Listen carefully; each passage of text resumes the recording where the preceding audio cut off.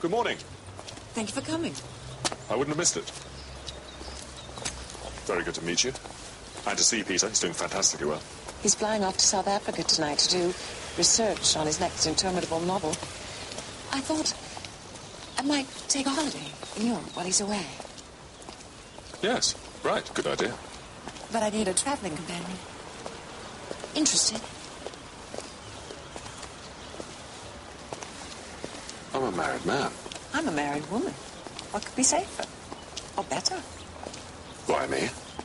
I don't know exactly. I think it's because I'm very curious about you. You know, when you hear so much about a person and you finally meet them. It just came to me last night in my bar. In a split second. Well, I'm very flattered, I must say.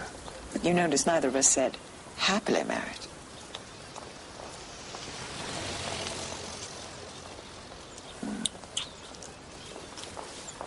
Don't we do a trial run? Up after to Politesse, hmm? See how we like each other.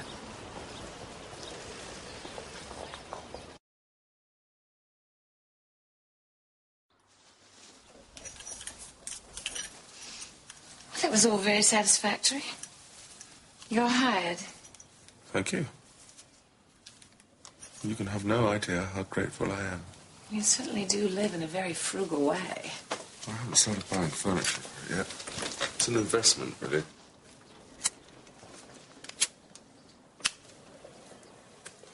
I'll get it redecorated, don't worry. Well, very useful, at least.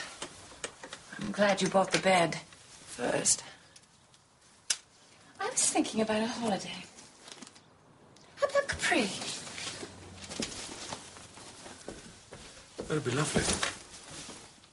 Only a few days, though. Perfect. I'll call you tonight once I've seen Peter on the plane.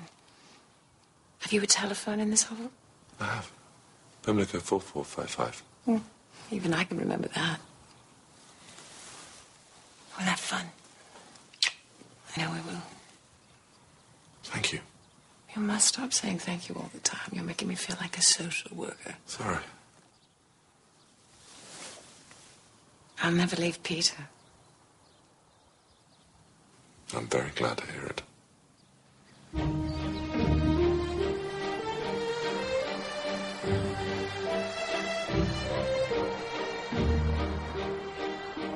I phoned Alana to tell her I had to stay on in Europe.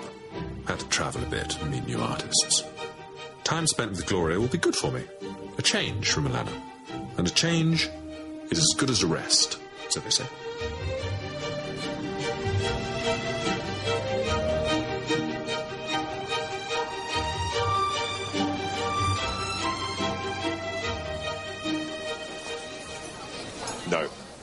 Going to Madrid. Weather's better in Madrid. We're going to Barcelona. We're going to Madrid. Barcelona. Madrid. How?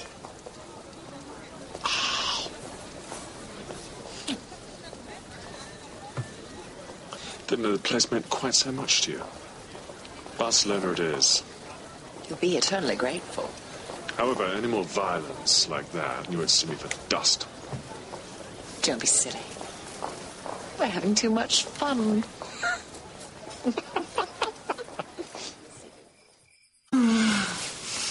Oh, goodness. Ah. So, how have you been? What brings you to New York, Mr. Scabius? oh, sorry, sorry. Is it any different that I'm the ex Mrs. Peter Scabius? Strangely, it's better now the guilt quotient's gone. You mean the guilt dividend is gone? I always thought it made it more exciting for you. It's you I love fucking, darling. Ow! Peter! How is Peter, by the way? Mm, extremely, effortlessly, endlessly successful. I'm glad to say.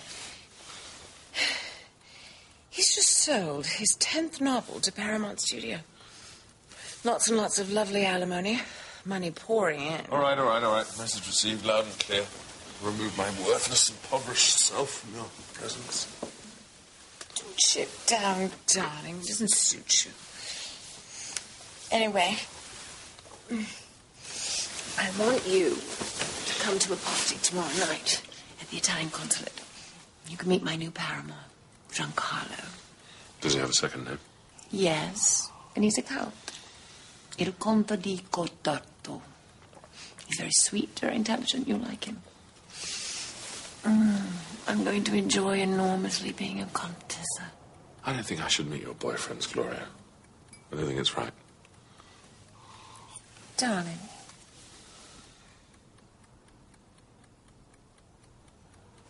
All right, all right, I'll be there. I'll be there, but I'm going to bring my son, Leo. I want you to meet him. Mm-hmm. It'll be a night of meetings. Mm. Ah! Delicious. So what are we celebrating anyway? Life. So the tests were uh, wonderful. Mm. No, no, no. Uniformly bad. Metastasizing pancreatic carcinoma. It's racing through me. My spine, my lungs, my liver. Don't. Not a word of sympathy. I'm not going to hospital. I'm staying here. Nurses will come here, and they promise that I won't feel a twinge of pain. and we're going to have fun. We're going to live like kings. I've got enough money. We can indulge ourselves. No.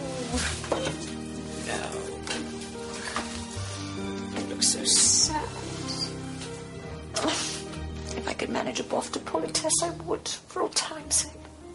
It's just that I feel so Frustrated!